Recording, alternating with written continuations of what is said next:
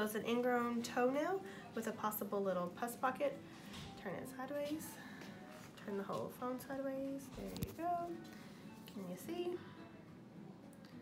Oh, there we go. I just squirted you.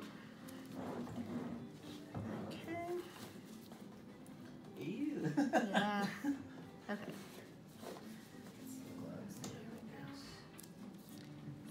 Happens when an ingrown toenail is left to fester a lot of times.